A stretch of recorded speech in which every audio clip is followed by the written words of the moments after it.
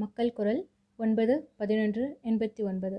Adyar Kamaraj avenue Exnora அமைப்பு சார்பில் மாநகராட்சி துணை கமிஷனர் என்ஆர் கோடீஸ்வரனுக்கு பாராட்டு கேடயத்தை உயர்நீதிமன்ற நீதிபதி கே. வெங்கடசாமி வழங்கினார்.